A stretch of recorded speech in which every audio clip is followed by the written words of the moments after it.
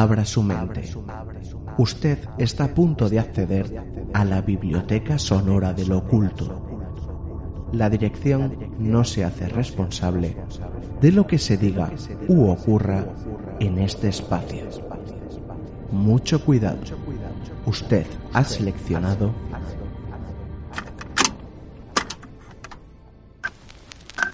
Cantabria Oculta con Juan Ramón Cayón, Antonio Gutiérrez Rivas y Alberto Martínez Beivide.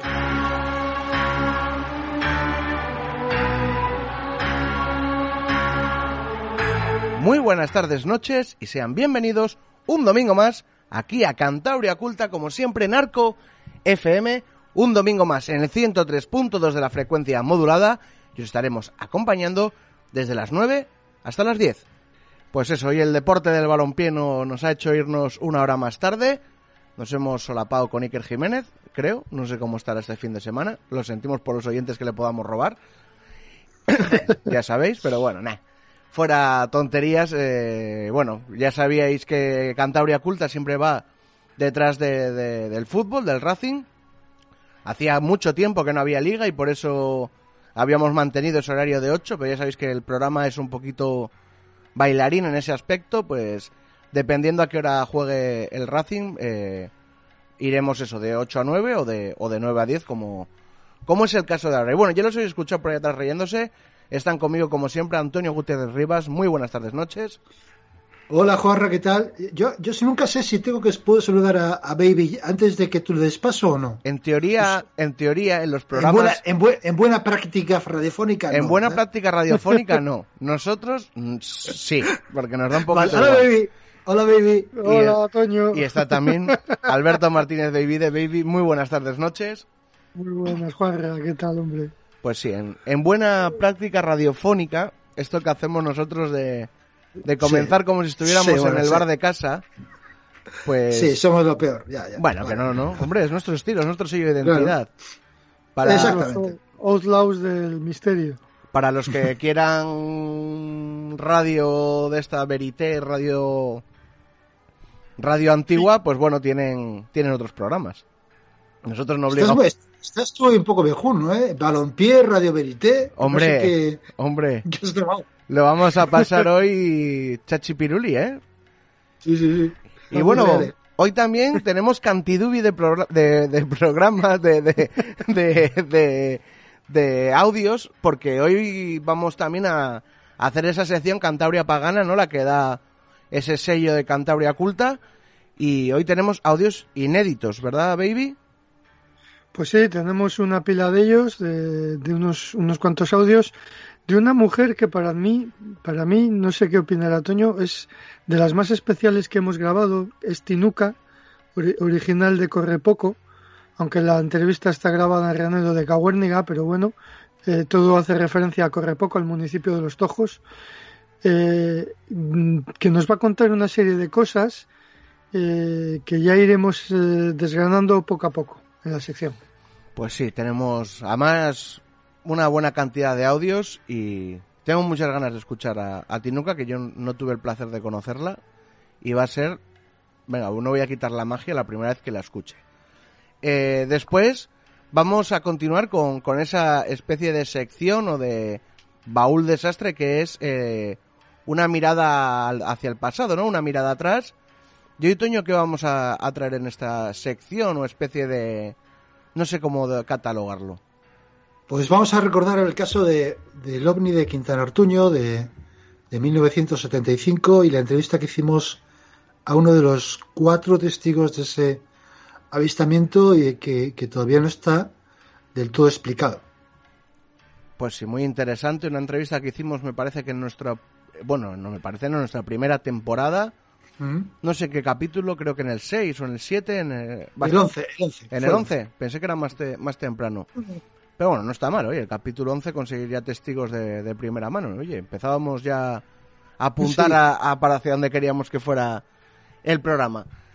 y como siempre, para terminar, terminaremos con, con ese rincón de, de los oyentes. Hoy un tanto especial porque, bueno, vamos a leer también un email y, y bueno, vamos a dejarlo ahí. Los comentarios que nos dejáis en iVoox, que ya sabéis, un me gusta o un comentario nos ayuda mucho, nos da mucha visibilidad en la plataforma y que bueno, es gratis y a nosotros nos ayuda, insisto. Pues nada, vamos a pasar ahí ya a primer Cantabria Pagana, vamos a empezar por ahí.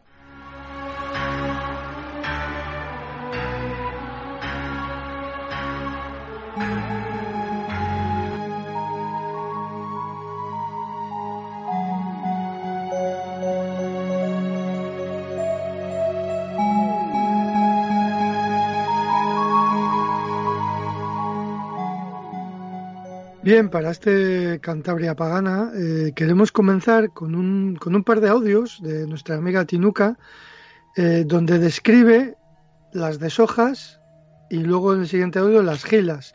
¿Por qué es importante esto? Porque es el, son los lugares eh, de reunión donde se transmitía la tradición oral principalmente, donde se transmitían todas esas historias que luego van pasando por el programa de aparecidos, de brujas, de culebras mamavacas, etcétera, etcétera. Eh, entonces eh, ella describe eh, su participación en las deshojas, como, como desgranaban el, la maíz y le quitaban las hojas, y ahí se reunían la familia y algunos miembros más de, otras familias, y ella lo describe así, vamos a escucharla. Y hacer la deshoja primero se cogían las tierras y se llevaba a casa el maíz y luego se hacía una deshoja y bajaban todas las chavalas y chavales del pueblo a deshojar. Cuéntame sobre las deshojas, que ahí se liaban parras. Cuéntame. Liábamos gorda. ¿Qué pasaba las deshojas? Pues con las monas, entre había entre las panojas siempre salía una mona. ¿Una comadreja? Una o, o dos, la que fueran. Y la cogíamos y, y, untábamos bien las manos debajo de la mesa y cuando eso a la cara cogíamos a dos o tres o cuatro y, a, monarles a todos. Bueno lo pasábamos fenomenal. Y se asaban castañas se asaban castañas para para la deshoja para la deshoja, claro ya se hacía por castañas y, y anisao ¿Cómo? Anisao. Anisao. Una copa de anís. Porque las deshojas, bueno, ya sabemos lo que se hacían las deshojas, sí. pero ¿se cantaba también? Sí, sí, claro. ¿Y se contaban cuentos? Uy, eso... ¿No te acordarás? A montones. Cuéntanos alguno, venga, memoria. pero ya de eso no me acordaré. ¿A qué hora empezaría una deshoja?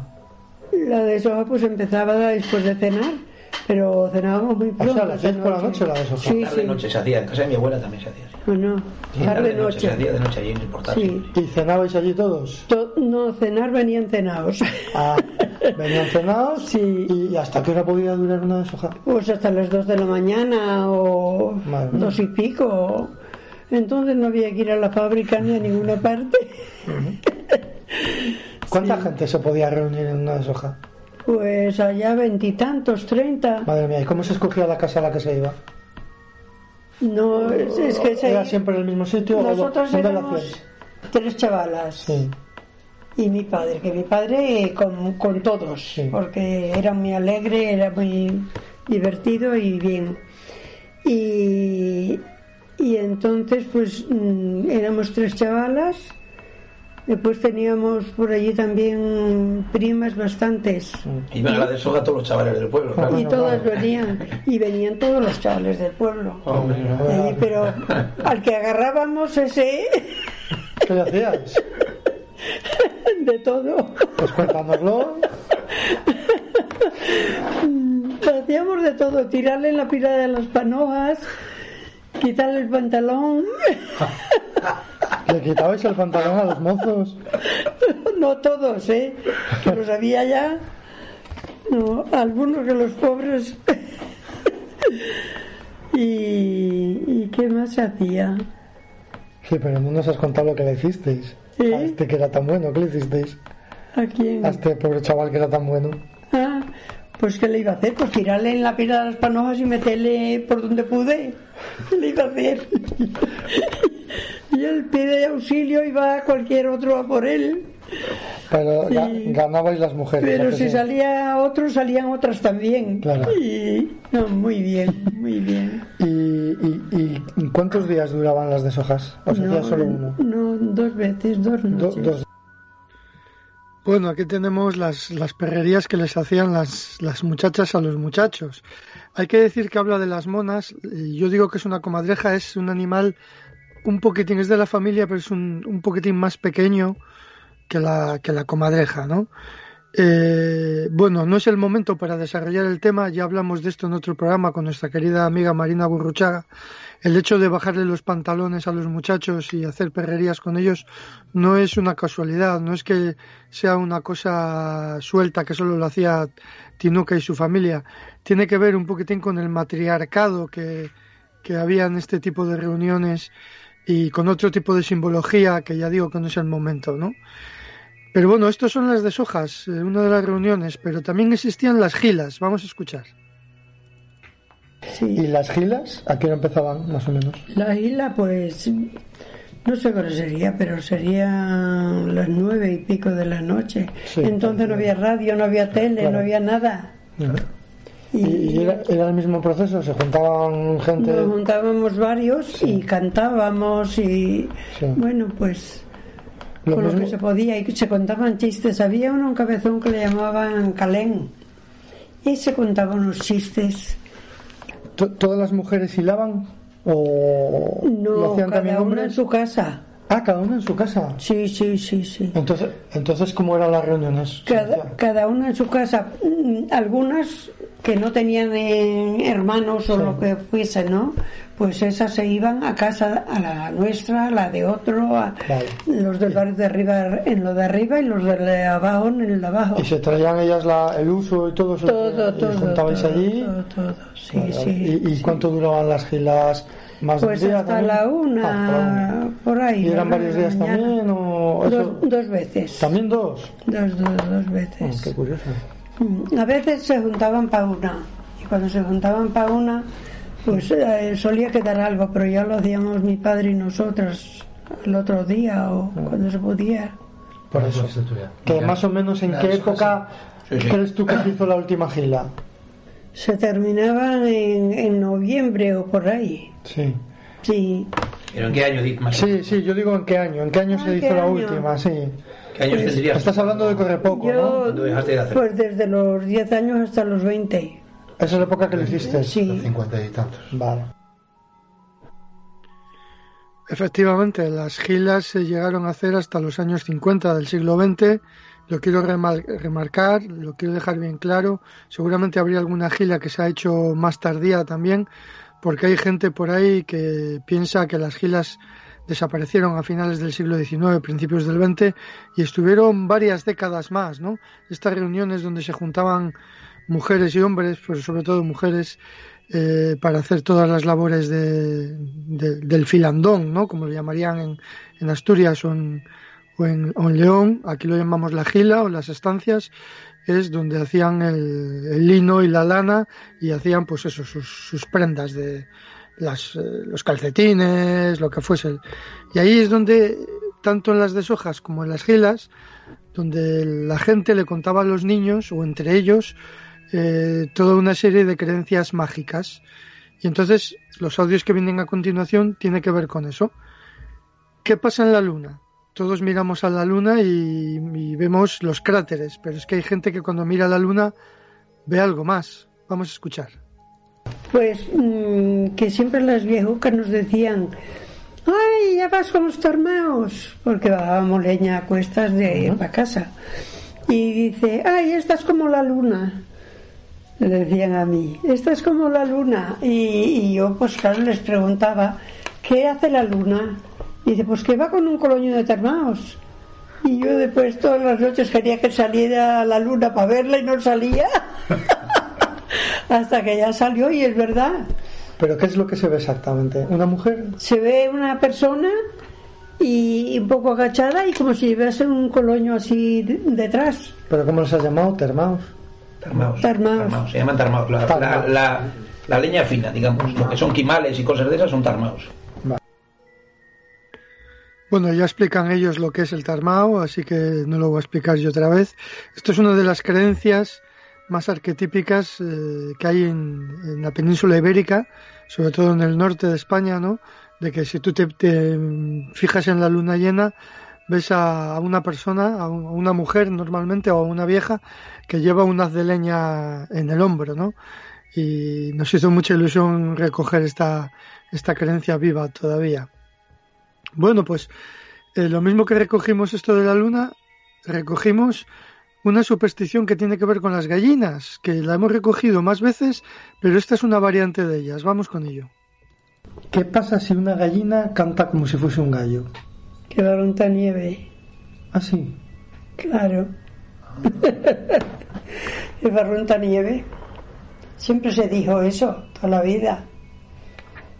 Cuando cantaba una gallina con un gallo, digo, ¡ay, esta barrunta nieve! Y nevaba. ¿Y no, no, había que hacer nada con esa gallina? No, no, no, nada, nada. Vale, vale. Qué curioso. Se la dejaba y a correr. Bueno. bueno, esto es una versión, hay más versiones, ¿verdad, Toño?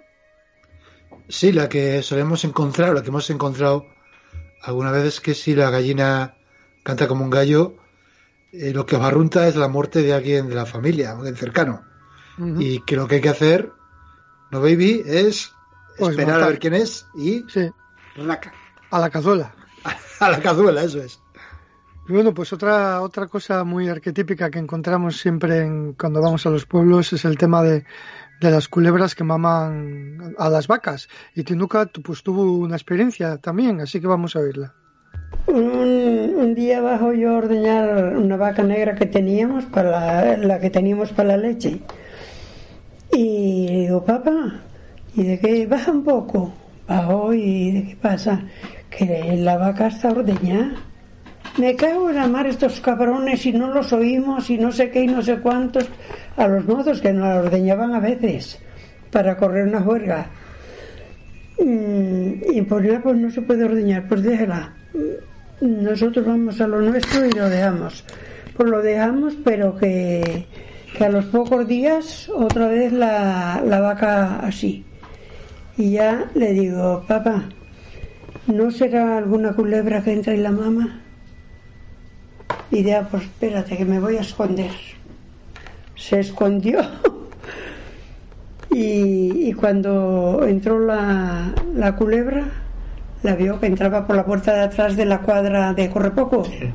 Por aquella puerta entraba a, la otra cuadra, donde estaba la vaca. Y la pegó un tiro y la mató. Pero una culebra, bueno, enorme. Enorme. ¿No la llevó a ver como mamá? No la vio, no, no, pero que nos la, orde, nos la mamó unos cuantos días, ¿eh? Joder. Y yo después no quería leche. ¿Y cómo era? O sea, no era una culebra normal. ¿no? Una culebra enorme era, era por lo menos así era. La verdad es que podríamos escribir un libro dedicado solamente al tema de las culebras. Eh, a mí y sus varias. A mí esto me ¿A que flipa. sí? O sea, es una de las cosas que habéis encontrado que me resultan más curiosas, que no había escuchado nada y es porque nadie ha preguntado, porque es que todo Dios lo ha visto. Sí, es curioso que sí, hombre, es verdad que Jesús García Preciado lo tiene recogido en su libro, eh, tiene recogido unos pocos casos, pero nosotros como lo tenemos incluido en, en, nuestra encuesta estándar, cuando vamos por los pueblos siempre preguntamos por esto. Y no te digo el 100%, pero igual un 80% sí que han tenido experiencias con culebras, ¿no? Sí, es a lo que Eh, voy, todo- que, que es bastante más común de lo que parece. Sí, sí, sí, lo de las vacas. Ya Sí. lo de que mamen de, del pecho de las mujeres y le metan la cola de de la culebra en la boca al niño, hay menos, pero hemos encontrado también varios casos, ¿no? Han pasado ya por el programa, o sea que la gente puede, puede retroceder y escucharlo, ¿no? Y bueno, pues eh, van apareciendo en esta encuesta continúa que haya cosas un poco más del trasmundo, cosas un poco más tenebrosas. Vamos a seguir escuchando el siguiente audio. En Correpoco había un santuco, que le hay todavía, y eh, había una mujer que iba a rezar allí todos, todos los días, del pueblo a donde está el santuco, que será la distancia de, de donde habéis ido al bar a por aquí, será esa distancia. Y siempre lo decía, pero yo nunca vi nada. ¿Qué decía? pues que se le había parecido esto, lo otro, que estas cosas En el Santucu. en el Santuco. ¿Qué? Que se le había parecido la Virgen. Ah, y, y hubo una, Era un, un humilladero, será. Sí, sí, sí, sí. hubo una que decía que, que ella iba al Santuco y rezaba y le contestaba a su madre. Ajá. Que la madre le contestaba. Vamos a, a la anterior, a esa que decía que se le aparecía lo uno o lo otro. ¿Qué es lo que se le aparecía exactamente? ¿Qué decía ella? ¿Cuál era? A- a- La que iba al Santucu y que se le aparecían cosas en el Santucu. ¿Qué, qué- qué Una Virgen, La Virgen. o, o San José, o Jesucristo. Vaya una procesión de Semana Santa que se aparecía en el humilladero de, de Sí, la, la verdad es que sí. Era, Eh, era un humilladero VIP, ¿eh? Eh, ya te digo. La Virgen, San José, o si tenías suerte igual pillabas una- a Jesucristo. Una cabina telefónica para hablar con parientes.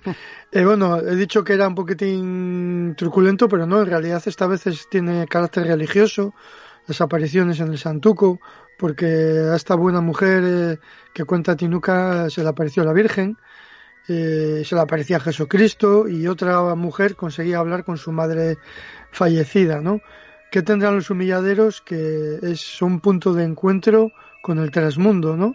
Lo normal es que se te aparezcan muertos, pero bueno, que se puedas hablar con tu madre tampoco está nada mal.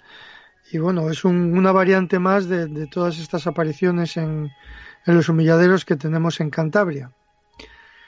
Pero claro, eh, la encuesta avanzaba y, y tenían que salir porque no hay campana sin ella, ¿verdad, Toño? Sí, sabemos de qué vamos a hablar ahora, ¿no? De, de las brujas, que, De brujas.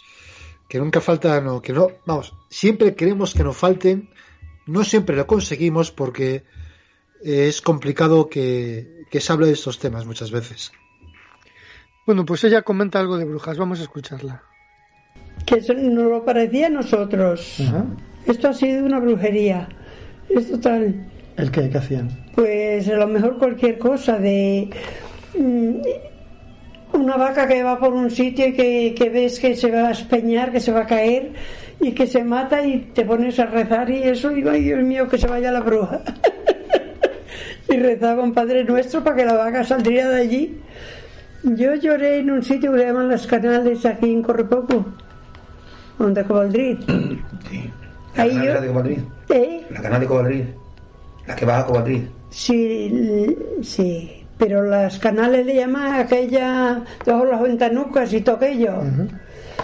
Pues yo ahí lloré muchas veces porque mi padre me mandaba a sacar las vacas y yo me ponía de espalda, tapaba los ojos para que las vacas, porque está así, así. Está malísimo aquello, sí. Y nunca se nos mata una vaca, Allí no había brujas. nunca. Nunca. Yo no sé qué pasaría y a otros se les ha matado. Nosotros nunca. Y todos los días se iban allí. Se estaban picadas. Esa era un- una peña que estaba muy pendiente. Era, de abajo estaba el río. Y, y claro, la. Ay, Las vacas que estaban en la peña. eso, las vacas hacían allí es- y yo me ponía de espaldas y ¡Tasuga! ¡Oscar! y yo verlas, pero de espalda para no mirarlas, porque tenía un miedo que se me matarían abajo. Y nunca, nunca, nunca. Y hace poco hablaba yo con mi sobrina de esto y digo, Mariluz, las vacas las seguíais echando a, la... ¿Cómo le van a los canales?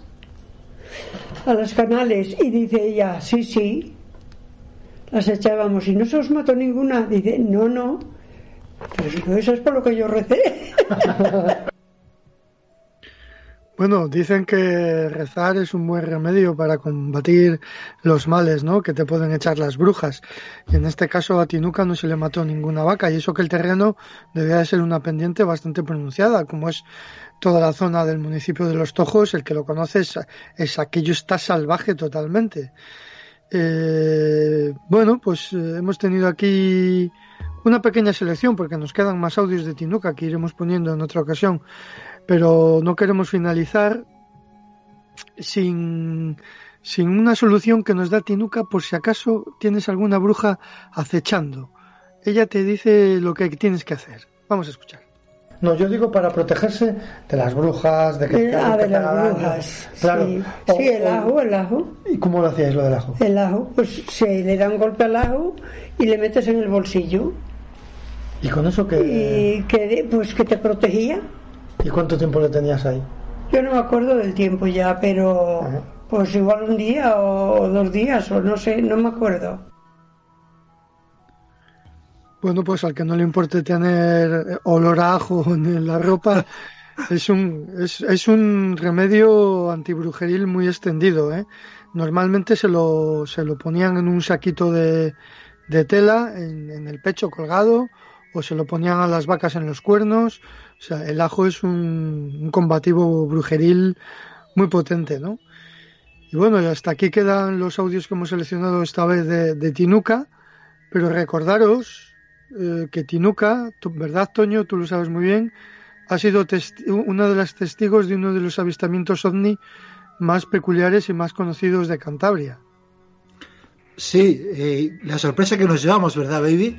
Sí, porque lo Cuando- contó sin que se lo preguntásemos. Sí, ahí da- rápidamente nos, nos contó la llama, como decía ella, esa, esa luz que vio eh, pues cerca donde trabajaba, donde tenía entonces un restaurante, y que es, digamos, el inicio de un caso eh, muy conocido que involucró a diversos testigos en la zona de, de, de, pues de Los Tojos, de Correpoco, pues eh, a este finales de los años 70. En este caso, Renedo de Caguérniga, que es donde lo vio ella. Hay que decir que el testimonio es completamente inédito y lo digo por los que quieran bucear. En, me parece que está en la temporada anterior, ¿no? Si no Creo recuerdo sí, mal. Creo que sí. lo, lo- lo pusimos, ¿no? O sea, pueden, pueden rebuscar. Que, como veis, las entrevistas que hacemos dan mucho de sí. Nos cuentan de todo, tradiciones, nos cuentan creencias mágicas y de vez en cuando nos llevamos la sorpresa de que nos hablan de cosas más fantásticas, como es el caso de Tinuca.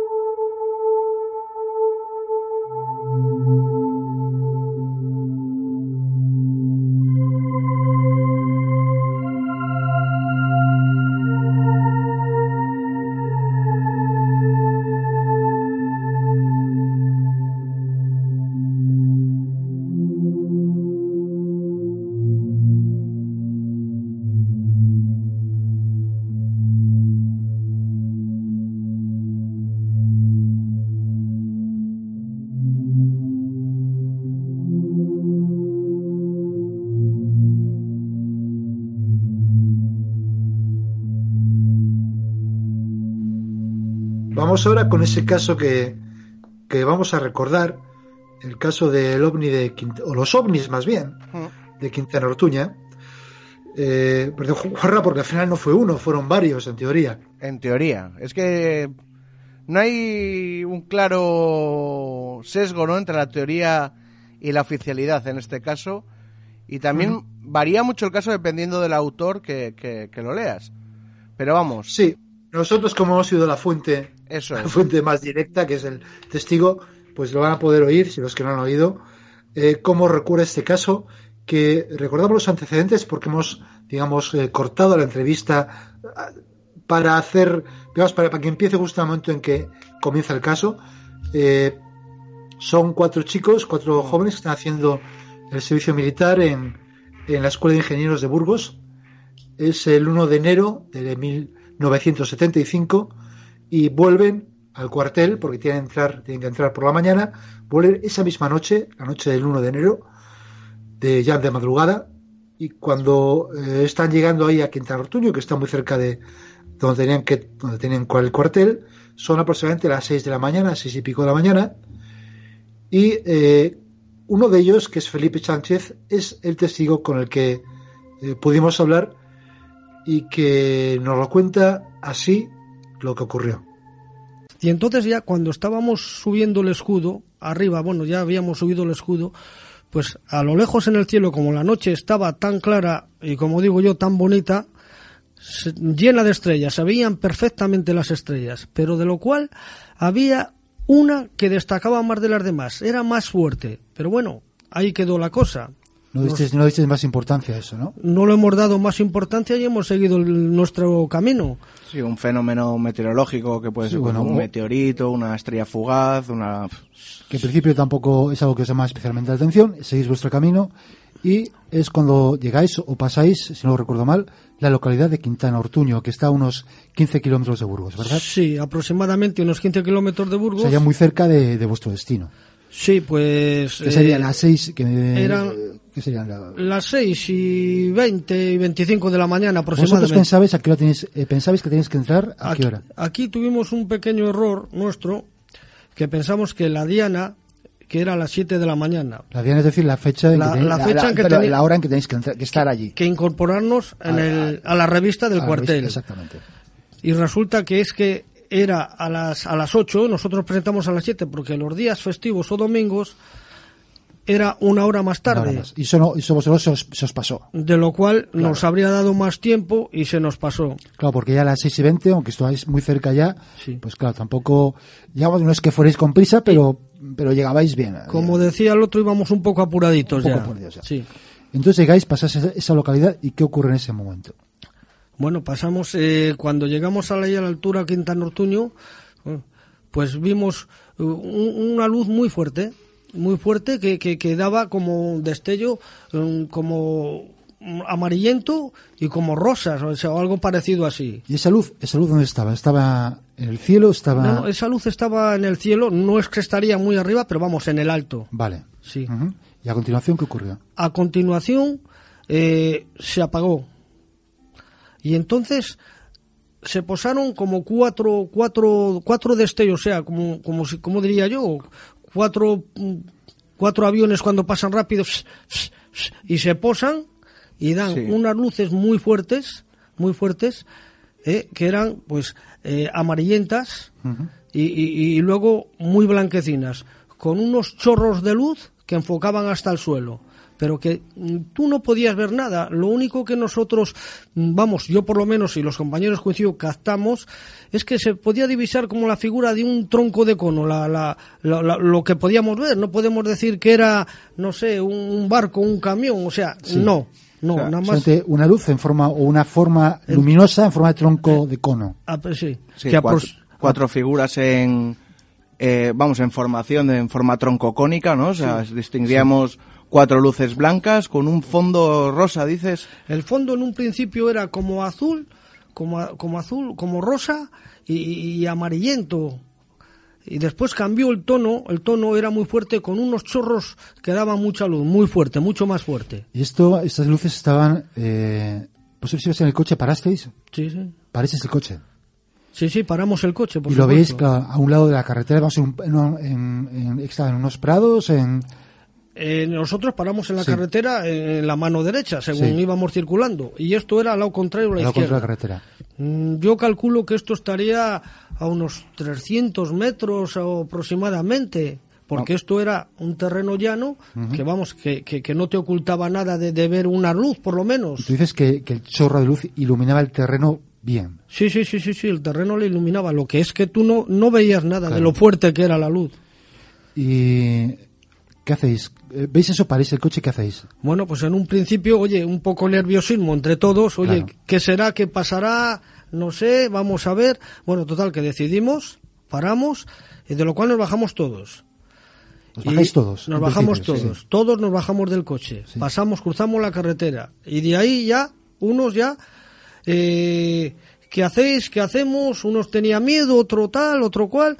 Yo no porque me quiera hacer más que nadie, ni mucho menos, pero a mí me inquietó ver eso y y igual anduve como, como 30 o 40 metros.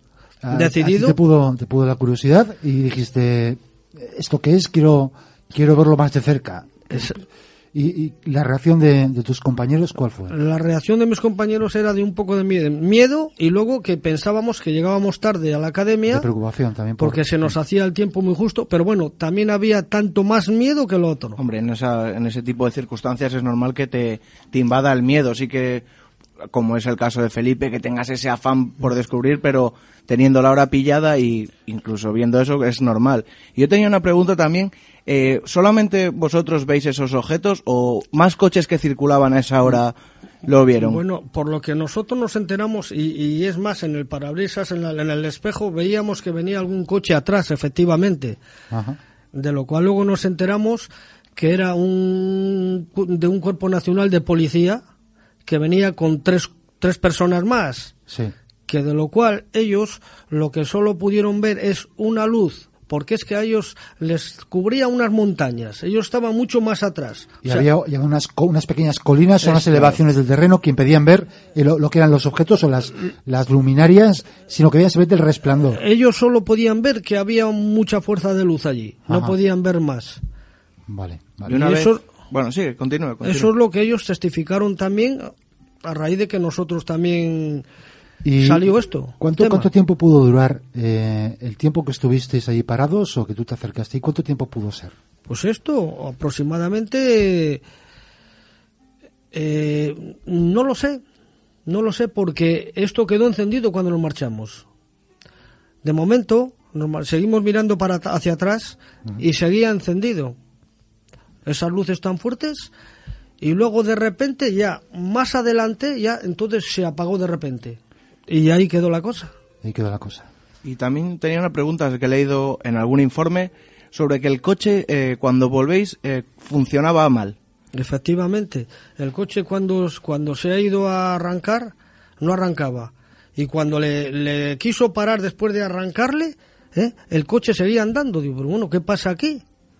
Y O sea, aquí le, le intentó, le arrancó, le Sí, intentó sí. parar otra vez y, no, paró. y no paraba el coche. Es más, eh, yo como testigo lo comprobé. Digo, anda, anda, que estás nervioso, estás tal. Como compañeros, palabras que hablas sí, normales, entre nosotros.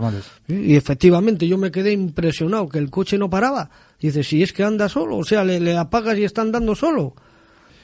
Y ese, ese efecto, ese defecto del coche, ¿notasteis algo en marcha luego cuando continuó? No, no, no? El coche a raíz de eso fue perfectamente.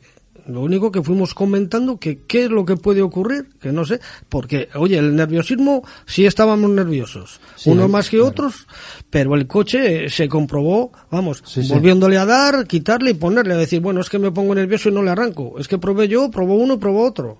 Sí, sí, sí, vamos, que eso, O sea, si sí. el coche no se pone nervioso. El, coche no se eh, pone eh, nervioso. Exactamente, el coche no se pone nervioso. Bueno, eh, seguís en dirección a- al cuartel. Ya veis, de las luces se han apagado y llegáis al cuartel y no lo comentáis en principio a nadie, ¿no?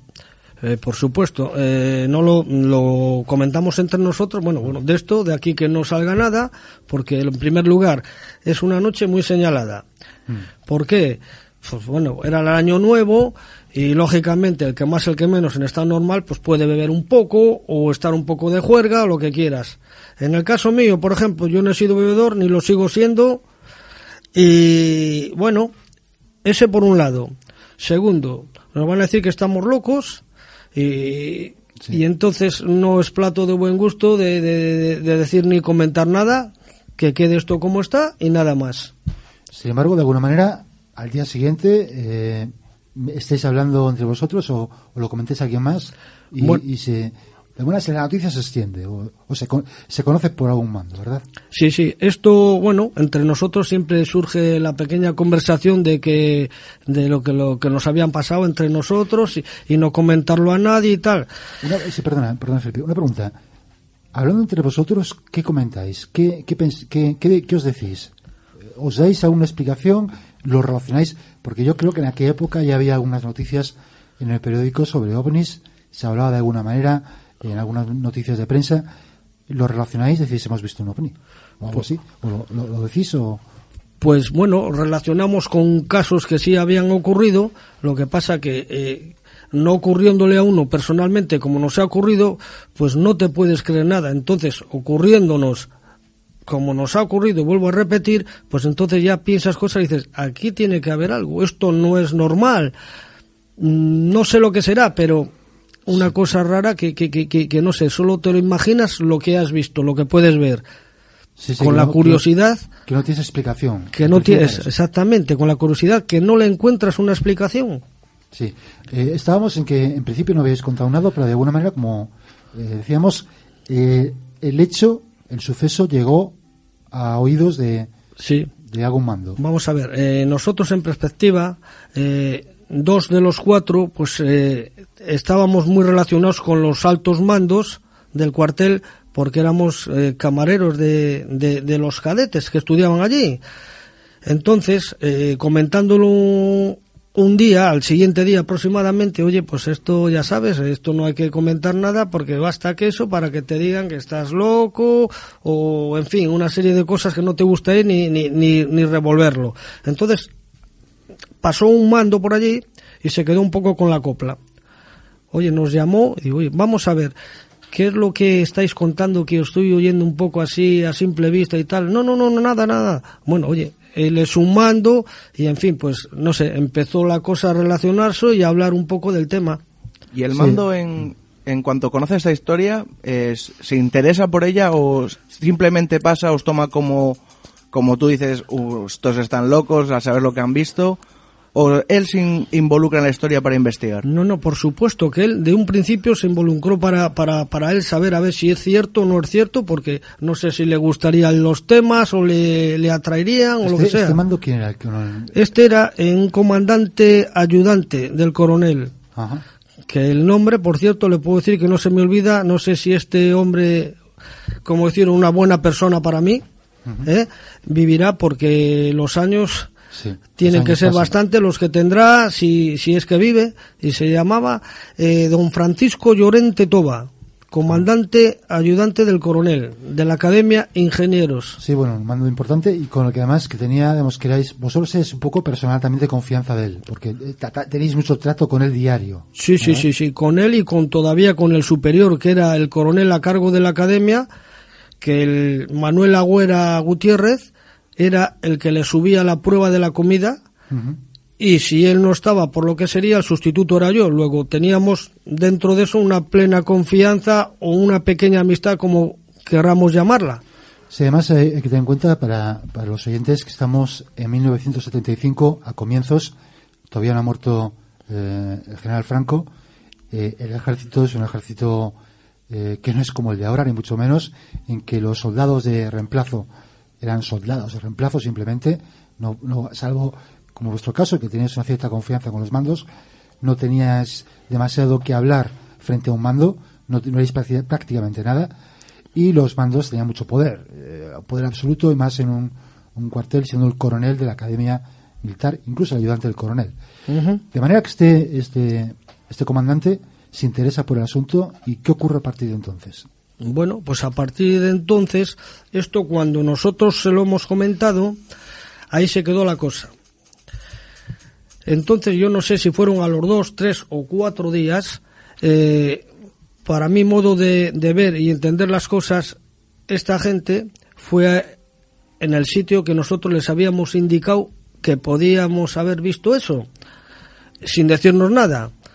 Y entonces, por lo que se entiende, no vieron nada. A continuación, al siguiente o a los dos días también nos, nos llamaron a nosotros, a los que lo habíamos visto, para ver si les podíamos indicar en el sitio que creíamos que había sido eso, a ver si allí había ocurrido o había algo. ¿Y fuisteis allí con los mandos? ¿Fuisteis, os desplazasteis al mismo sitio en que vosotros habéis visto aquellas luces? Sí, sí, efectivamente. Eh, no sé si sería casualidad, instinto o algo que nos dejaron, como dice la gente, los extraterrestres estos, de que dio la casualidad que fuimos a dar al mismo sitio que nosotros vamos apuntábamos a ello. Y ahí es donde se encontró toda esa franja, eso, eso quemado, todo el prado. Pero hay que decir que, que en el sitio donde llegaron ya hay fotografías para que lo corroboran. Se encontró una franja de varios metros eh, quemada. Con, Tengo yo los datos por aquí Ajá. de los metros. Se presentaban dos zonas, una de 60 metros por 12 de anchura y otra de 30 metros de largo, separadas ambas partes 15 metros. por unos 15 metros, sí. y, Claro, son unas franjas bastante, bastante considerables sí, de tamaño. Y, y de, de tierra, vamos, de, de hierba quemada. Y claro, uno lo que primero piensa es, bueno, esto pueden haber sido quema de rastrojos de, de los campesinos de la zona, eh, pero no, ¿verdad? Porque se investigó. Sí, sí, Se allí, investigó. allí se estuvo investigando y se llamaron, además personalmente, nosotros vimos cómo hablaban con labradores de allí, de- del mismo pueblo ese, a ver si se habían quemado rastrojos y allí no se habían quemado. Bueno, es que en esa fecha decían que no se quemaban rastrojos por las heladas o por lo que fuera, ellos lo son los entendidos, que allí no se había quemado nada. Sí, parece que desde, desde el mes de octubre anterior, estamos ya en, en- al el día 1, estamos a principios de enero, desde el mes de octubre anterior no se había producido ninguna quema de rastrojos, con lo cual eh, esa no ha podido ser la causa. Eh, de manera que casi los se infiere o se deduce que esa puede ser una huella dejada por aquellas luces, fuera lo que fueran, que, que quizá fueran, como bien dices tú, extraterrestres o, o fueran otra cosa. Eh, bien, eh, pero aparte de esto, aparte de llevaros allí los mandos a que reconocierais el terreno con ellos y vierais el lugar, os someten también a algún tipo de, de- investigación y os hacen varias preguntas y de manera muy precisa. Pues sí. Bueno, en primer lugar, eh, cuando esto lo comentamos allí, en el mismo cuartel, allí ya ellos un poco nos forzaron a sacarnos a ver lo que ellos podían mm, averiguar más concreto, a ver si, si, si era mm, verdad, mentira o tal. Bueno, ellos mm, creyeron conveniente eh, seguir con el caso y yo no sé si eh, al otro día o sí, muy, muy seguido ha sido, muy reciente. Entonces nos llevaron a aviación a Villafría. Allí a cada uno a ver si mentíamos o no en unas cabinas de detector de mentiras, a ver si coincidíamos y si mentíamos.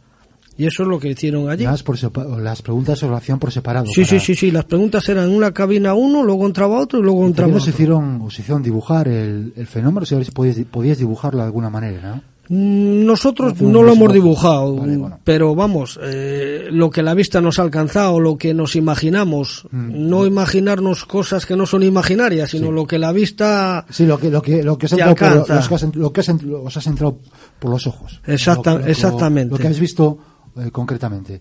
Y además, eh, los testimonios de, de, vos- de vosotros cuatro, eh, las- los oficiales investigadores, ven que coinciden. Sí, sí, vamos, que ahí hay algo. A nosotros, por supuesto, que tampoco te comentan las creencias de ellos, pero vamos, sobre los hechos que hemos visto, cómo han actuado, las cosas que han salido a la luz y todo eso, pues ahí hay algo que no estaba claro ni sigue estando claro todavía.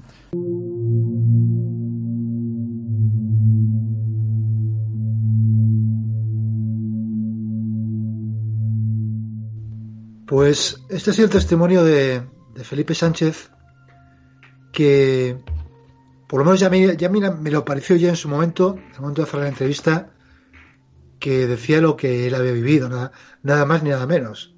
¿Verdad, Juanra? Y una memoria excepcional. Eso es, eh, con una gran memoria y yo supongo que, como decía él, este tipo de sucesos no se te, que no se van fácilmente, fácilmente de la, de la memoria, son unas experiencias No, yo- muy... yo, lo que te iba no es solamente a lo de al- a la memoria del fenómeno, sino acordarse del nombre de los mandos. Sí. Yo me refiero que yo he estado el otro día, por ejemplo, hablando con, con amigos de clase de cuando estudiaba biónica y no acordarme nombres ya de profesores. Sí, sí, no, sí, es verdad. Tiene una. eh, y además es importante también el contacto que tenían con los mandos, porque eso de idea de que los mandos tenían que saber que eran gente absolutamente normal, que porque hay que hablar del, informe oficial. El informe oficial, que para mí deja mucho que desear como investigación, primero porque se les entrevista 15 días después, se les hace una, investigación 15 días después, cuando ya realmente pues eso se hace a los pocos días para que todos los detalles estén más frescos. Se insinúa que si hay un cierto conchabeo entre ellos para intentar ocultar eh, que si eso un poco lo inventaron por la posibilidad de llegar tarde a, a, digamos al cuartel, que entraban pronto por la mañana. Dicen que no había ningún tipo de rastro en el terreno donde supuestamente estaban aquellas luces extrañas. Pero hay Cuando- fotografías. hay, hay fotografías que aparecieron en, un, en, en- en periódicos que, vamos, que no dejan ningún lugar a la duda de que efectivamente había pues unas franjas de, de hierba quemada recientemente, que además lo vieron los propios mandos que fueron a verlo allí, que no sé, a los dos, dos o tres días de producirse el suceso. Algo que obvia absolutamente el informe oficial y que eh, dice eh, o establece como sospechoso que las declaraciones de los testigos sean similares en cuanto a lo que vieron. Que les parece sospechoso, es decir, no, ¿quién está hablando entre ellos? Evidentemente que habrán estado hablando entre ellos, porque un suceso así no, no te dejan sin. Lo que te pides comentarlo con la gente con la que lo has vivido, pero hombre, si coinciden básicamente, quizás también es porque quizás ya básicamente hayan visto lo mismo. También si coincides porque tú lo has hecho mal y has entrevistado 15 días después. Efectivamente, cuando ya muchos detalles posiblemente particulares de cada uno ya se han borrado. En definitiva, yo creo que es un caso que, vamos, para mí el testigo tiene toda la credibilidad del mundo, la sigue teniendo. El informe oficial, como digo, deja mucho que desear y el caso para mí sigue todavía sin, sin aclarar y sin dar una explicación o una, eh, una hipótesis mínimamente creíble de lo que fue porque esa hierba quemada, hay que decir que los campesinos de la zona dijeron que no se había quemado rastrojo desde octubre, desde tres eh, meses antes. Es decir, que eh, no estamos ante un caso, yo creo que absolutamente que queda ahí en la incógnita de qué fue aquello que vieron estos cuatro chicos aquella noche de enero de 1975.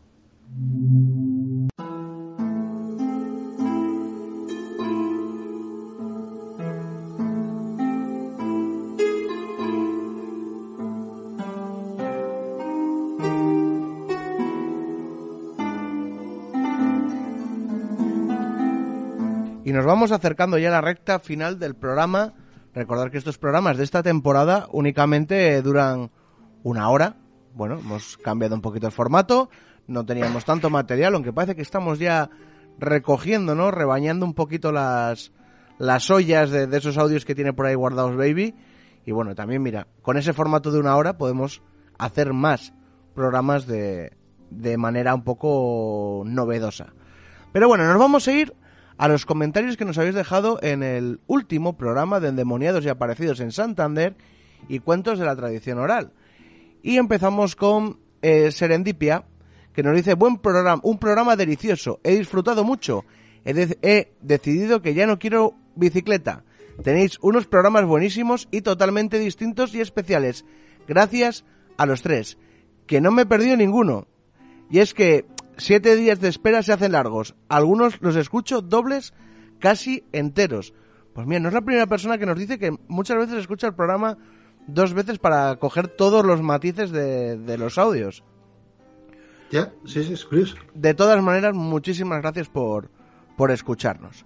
Eh, tenemos aquí otro comentario que pide que no digamos su nombre, pero bueno, está en iVoox, o sea, realmente es público, pero bueno. Eh, soy novato con vosotros y me he bajado todos vuestros audios y estoy encantado. Esta noche empiezo la semana con turno de noche y ocho horas, y ocho horas de audios de misterio y documentales incluidos, como no, los vuestros. Saludos desde Albacete, La Mancha. Pues un saludo para, para esta persona, que no quiere que digamos su nombre.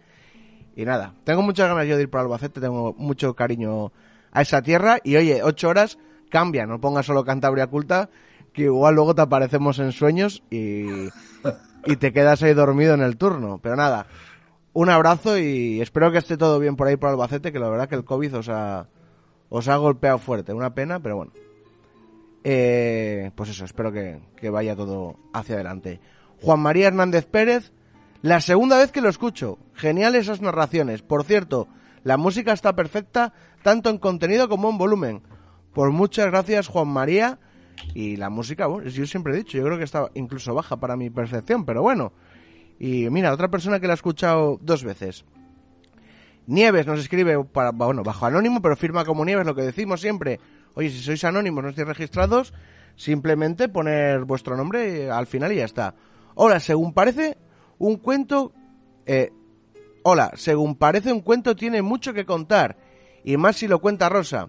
Y al escuchar la leyenda sobre la ermita de San Miguel, me he acordado que lo que cuentan sobre la historia de la ermita de la Virgen de Hinojedo, en las Fraguas, Soria. Después de un milagro decidieron hacer una ermita y se la disputaban varios pueblos y mientras la llevaban de un pueblo a otro, la Virgen enfadada dijo, ¿y si no dejo? Y ahí plantaron la ermita, en mitad del campo, y, no, y o, o eso me contaron. Seguramente habría una disputa, una disputa por, lo, por el disfrute de unos montes y así al menos los pueblos que se encontraban con las fiestas de una vez al año. Gracias, ha sido divertido, Nieves. Pues se, se asemeja mucho a esas historias, ¿no? Y no es la primera historia que conocemos en este programa sobre ermitas que decide la propia Virgen o el propio santo donde se construyen. Efectivamente, así es. Eh, Sobanuca, estupendo programa, maravillosos los cuentos y su narradora, y preciosa la leyenda de la ermita de San Miguel en el Valle de Soba. Pues mira, haber recuperado estos audios que se quedaron ahí un poquito en esas primeras temporadas ha llegado, pues para mí, que para muchos oyentes que, que bueno lo conocían y estaba, precisamente ya estaba emitido en este programa. No, y además es un oyente de Sobal, que Sí. la, la historia va de Soba. Siempre estamos reivindicando el Valle de Soba. Les mandamos un abrazo muy fuerte a todos los sobanos y a todas las sobanas. Puri Luque, muchas gracias por darnos a conocer la historia de Doña Rosa.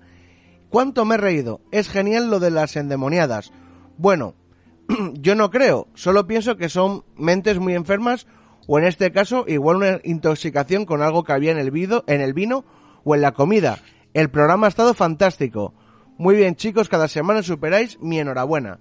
Pues sí, es una hipótesis que manejábamos, ¿no? El vino, la comida. y- sí, y un, y un saludo especial a Puri que, que ha mandado en el grupo nuestro de Telegram, ha mandado que, que parece que se ha fastidiado los ligamentos de, Ah, es verdad, lo he leído antes. rodillas. Y pues oye, Puri, que seguramente nos escucharás, pues que espero que, que estés mejor y que haya, ido todo bien. Pues un, abrazo, Puri. Puri. Montañés, como siempre, fantástico el programa. Lástima no poder veros este año en el Samuín. Habrá que ser prudentes y esperar años mejores. ¿Cómo va la recopilación de historias en este mágico Valle de Valderredible? Maravilloso lugar y muy desconocido. Un saludo, como Sufer, gracias por vuestro estupendo trabajo. Bueno, pues lo, de, lo del Valderrible va, pues que está pendiente. Nada, cuando pendiente podamos de- ir al observatorio, Eh, por ejemplo, por ejemplo, eso es. Haremos, por cierto, un saludo a toda la gente del IFCA que han estado hoy retuiteando y poniendo posts sobre nuestro Eso programa, que ha sido una gozada y, oye, da gusto que, que estamentos también, ¿no? Pues tengan esos detalles con, con nosotros. Y por último nos escribe Betejo, fabuloso el programa y vosotros muy grandes. Me han, me han encantado los chascarrillos, eh, que es como los llamamos por aquí, abajo a esas historias con ese toque humorístico. Gracias por esta hora y pico tan buena. Eh, pues muchas gracias a ti, Betejo. Y por cierto, tenemos que hablar un poquito para que algún día vengas por aquí a contarnos leyendas de tu zona, ¿no? Yo creo. Sí, Claro. claro, yo creo que no se va a escapar. Hombre, hay que traerle por aquí y así también te haces un poco promoción y esas cosas. Eh, y bueno, vamos un poquito apurados de tiempo. Hay que decir que este año no tenemos esa libertad horaria de hacer los programas con la duración que nos salía un poquito a nosotros de, de- de nuestras partes nobles. Así que nos vamos a leer un email que nos ha hecho especial ilusión porque nos ha llegado un regalo a, a la emisora. Sí, que- algo sí. que no es muy normal y a mí me ha hecho especial ilusión. Así que, Sí, Toño, cuen- cuenta un poco la historia.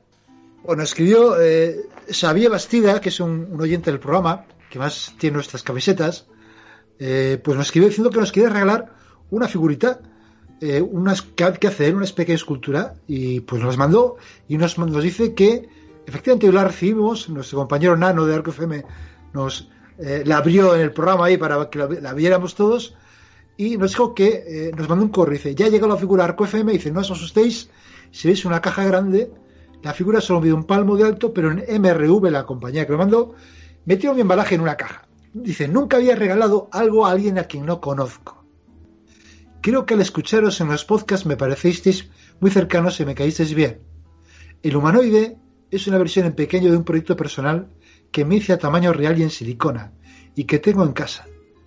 El proceso se puede ver en, en su página web que es xavierbastida.com y desde aquí lo recomendamos porque es una Mm. auténtica maravilla. Es un auténtico artista. Bueno, es, una, es, es un profesional de efectos especiales, como has podido comprobar al ver la, la página web. Es que es más, mientras leía Toño la el, email, dice, lo he hecho en silicona. Yo, si trabaja con silicona, este igual trabaja en cine. La verdad, trabaja en Y, cine, efe- trabaja en y efectivamente, Efectivamente. no en Cine, sí, cualquier pasaros, pasaros por la página web porque es una maravilla. Así todo la lo, que nos ha, lo que nos ha mandado es, es una maravilla. Sí, ahora mismo no la tenemos maravilla. aquí, es una pena, pero en el siguiente programa lo subiremos un pequeño vídeo a nuestras redes sociales enseñando la escultura. Bueno, dice que, que dice que lo hizo con un escáner que tienen. eh, en- consiguió escanear el original y luego se lo imprimieron una pequeña impresora 3D que ha tenido que hacer más, más copias pues para familiares y para compañeros, pero que la nuestra es la única que ha salido del ámbito familiar por el momento. Dice que sea una sorpresa porque llevamos ya tres programas de la temporada y que un abrazo a los tres y, que sigamos dándole fuerte a, a Cantar al Culto y a los proyectos que tenemos. Pues Javier, pues un, una auténtica, un honor que nos hayas enviado este, este regalo y un abrazo fuertísimo y de verdad que nos hace muchísima ilusión y, y que da mucha suerte en todos sus proyectos porque vamos, tienes, eres un auténtico fenómeno, está claro. Y Bueno, bueno, a mí me hace, mucha, me hace mucha ilusión este regalo de una persona que ha participado en películas tan míticas como El laberinto del fauno o Un monstruo viene a verme, entre otras, ¿no? O sea, que estamos hablando de, de un freelance profesional del, del cine, o sea, de primer nivel y que haya tenido ese detalle con nosotros, pues es muy de agradecer. Así que le mandamos un abrazo muy fuerte. Un abrazo y nos vamos a quedar con tu email para... Igual hay que hacer una pequeña entrevista para la web y- o hablar contigo, porque es increíble a mí porque me gustan todos Muy esos sí, no, también. Es que- me gusta mucho. Es que aunque, aunque no sea para el programa, aunque sea solamente para que nos cuentes lo que haces, porque a nosotros nos gustan mucho esas cosas, o sea, somos muy, som- somos curiosos, cuanto menos.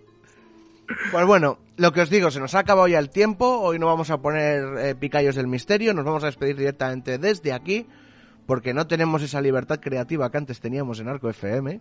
¿Por qué? Porque antes acabábamos nosotros y, y la redifusión la acabábamos nosotros. Decían, no, no, hoy estamos tres horas, van a hacer lo que salga los huevos y estar ahí no, lo que queráis. Este, este año, como hemos decidido, formato de una hora, nos han encajado entre dos programas y no es de buen gusto porque vamos, por ejemplo, los sábados en redifusión, vamos antes de Proyecto Terror y no es de buen gusto hacer que Patricia suene cuando a nosotros nos dé la gana. Un saludo a Patricia y si nos estáis escuchando y si no estáis escuchando el sábado en redifusión, que no sé a qué hora nos ponen, sinceramente, detrás va Proyecto Terror, quedaros con ella, que es un programazo y desde aquí Patricia, si nos estás oyendo, tienes que venir por aquí otra vez. Ya sabes que, que nos gusta verte pasar por este programa.